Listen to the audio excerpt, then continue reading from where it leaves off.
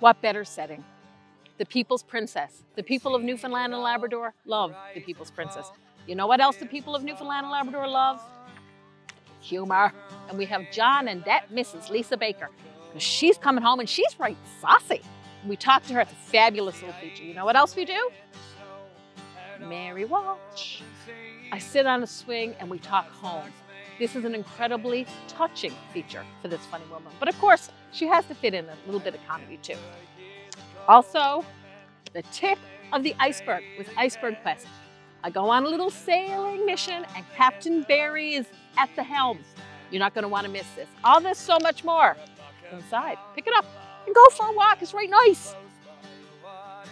Hi, I'm Shannell Lewis, account executive at the Newfoundland Herald. You've also seen me on NTV and heard me on Oz FM. We have so much exciting stuff happening at the Newfoundland Herald. Concerts are back. Iceberg Alley is coming up soon, and the George Street Festival. You can actually catch me there with Women of Rock opening up for Glass Tiger on Friday night.